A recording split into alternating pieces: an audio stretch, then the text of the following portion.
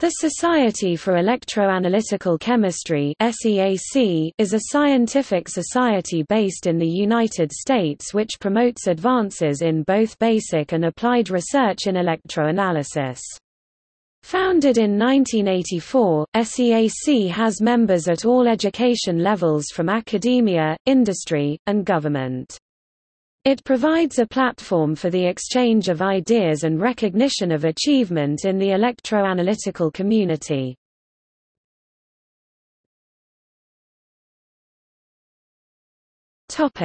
Origins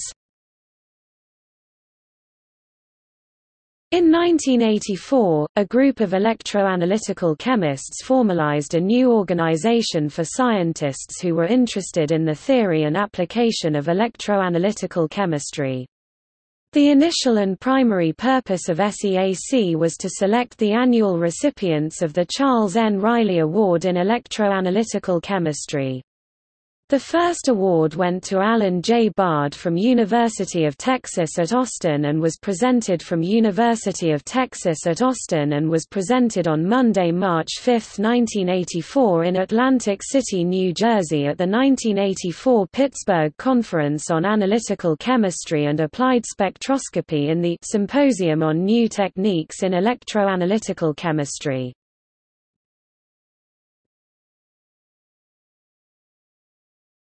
Topic: Activities.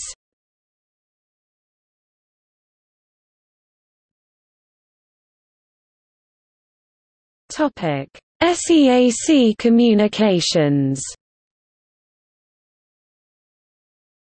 SEAC Communications is an online newsletter, covering recent news for the electroanalytical research and community, member news, award information and more.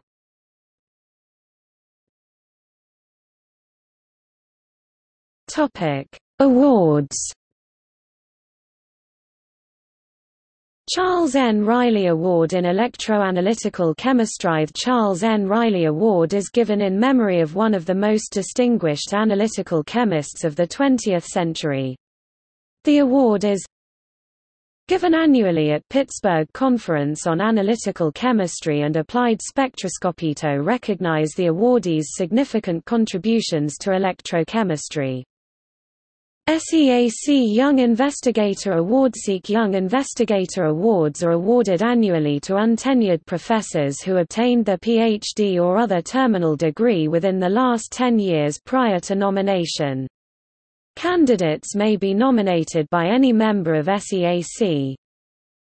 SEAC Graduate Student Travel Grants Graduate student travel grants are awarded to promising graduate students to offset the cost of travel to the Pittsburgh Conference on Analytical Chemistry and Applied Spectroscopy to deliver a presentation in at a conference symposium. The presentation should be on a topic related to their dissertation or thesis, and in some area or application of electroanalytical chemistry.